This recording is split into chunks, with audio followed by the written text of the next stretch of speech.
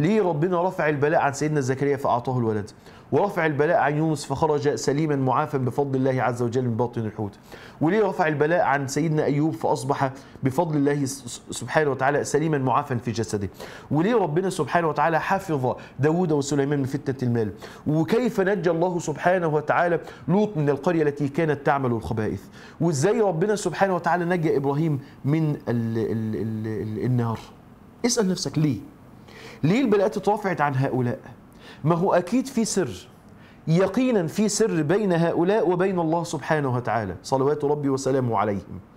إيه السر اللي كان بينهم وبين ربنا سبحانه وتعالى؟ ربنا سبحانه وتعالى كشف لك هذا السر. ربنا كشف ليك هذا السر. عشان يقول لك لما تسقط في بلاء روح بسرعة للسر ده. إيه السر ده بقى؟ قال الله سبحانه وتعالى إنهم كانوا يسارعون في الخيرات. ويدعوننا رغبا ورهبا وكانوا لنا خاشعين. إنهم كانوا يسارعون في الخيرات. يسارعون في الخيرات أنت تستشعر منها حركة الجسد. إن هم بيجروا دائما في فعل الخير بيجروا دائما في طاعة الله سبحانه وتعالى.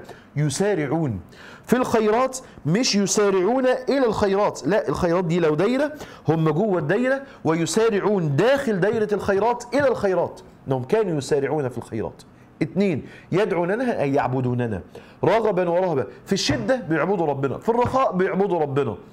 وكانوا لنا خاشعين بعد ما ذكر يسارعون اللي هي حركة البدن ذكر حلق حركة حركة القلب. فقالوا وكانوا لنا خاشعين. كانوا بأبدانهم بيجروا علشان يوصلوا لربنا سبحانه وتعالى. وبقلوبهم بيسعوا يسعوا سعوا عظيما شديدا علشان برضه يوصلوا لربنا سبحانه وتعالى. السر ده النبي صلى الله عليه وسلم اتكلم عنه في أحاديث كتيرة جدا. إن أنت إذا وقعت في بلاء إنك لازم تفزع إلى الله سبحانه وتعالى بالأعمال الصالحة. تكتر جدا من الأعمال الصالحة اللي تكون سبب من الأسباب العظيمة جدا اللي بيها ربنا سبحانه وتعالى يرفع عنك البلاء. سواء الأعمال الصالحة اللي كانت قبل البلاء أو الأعمال الصالحة التي كانت بعد البلاء.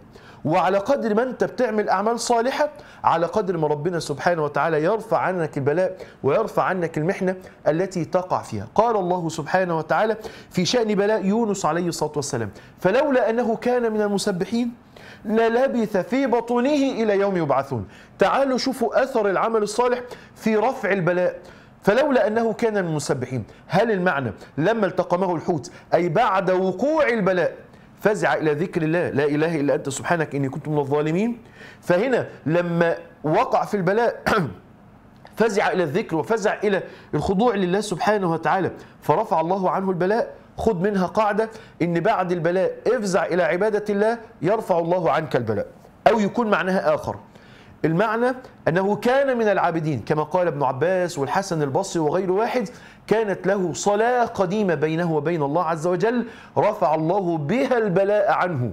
لذا قالت الملائكة والأثر رواه ابن جرير الطبري في تفسيره من طريق أبي هريرة ورواه ابن أبي حاتم أيضا في تفسيره من طريق آخر وقال الحافظ ابن كثير يقوي بعضهما بعضا أن يونس عليه الصلاة والسلام لما التقمه الحوت لما وقع في البلاء.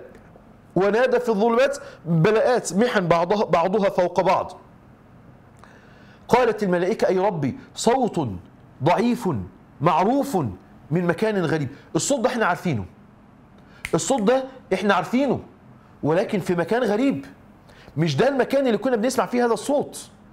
فقال الله عز وجل أولا تعلمون صوت من هذا؟ قلنا صوت من هذا؟ قال صوت عبدي يونس. قالوا يا رب ألا ترفع عنه ما وقع فيه بعبادته القديمة يا رب ده هو كان له عبادة قديمة فيما, بين فيما بينه وبينك. ألا ترفع عنه البلاء بذلك؟ يبقى ده المعنى الثاني في الآية فلولا أنه كان مسبحين يعني كثير العمل الصالح زمان.